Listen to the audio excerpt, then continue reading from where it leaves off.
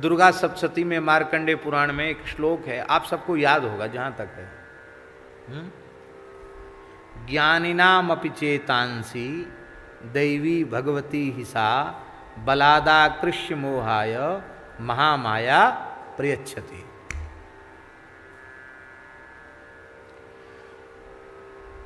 इसी का गोस्वामी तुलसीदास जी ने अनुवाद किया। देखो दुर्गा सप्तती के मार्कंड पुराण के श्लोक है।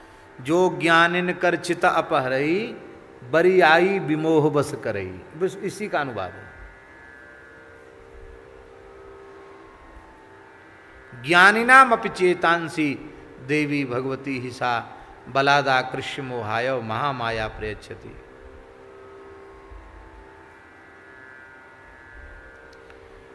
ये माया से मुक्त होने का मंत्र भी है।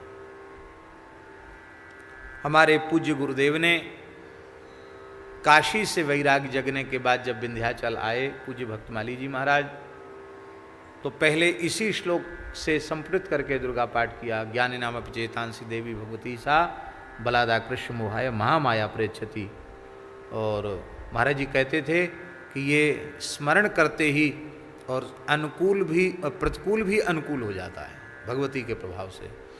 और फिर महाराज जी ने वहाँ कात्यायनी महामाये महायोगिन्यधीश्वरी नंदगोप सुतम देवी पतिम्य कुरुते नमः।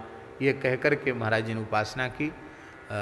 लगभग छः चार छः महीने महाराज जी वहाँ विराजे और बड़ी कठोर तप, तपस्या साधना की और वहीं भगवती का आदेश उन्हें मिला कि आप ब्रज में चले जाओ।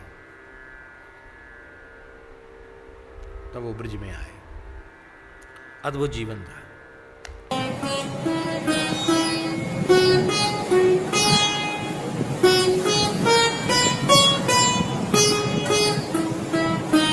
श्री सीताराम, प्रतिदिन सत्संग एवं दर्शन के लिए श्री महाराज जी के ऑफिशियल चैनल को ज़रूर सब्सक्राइब करें।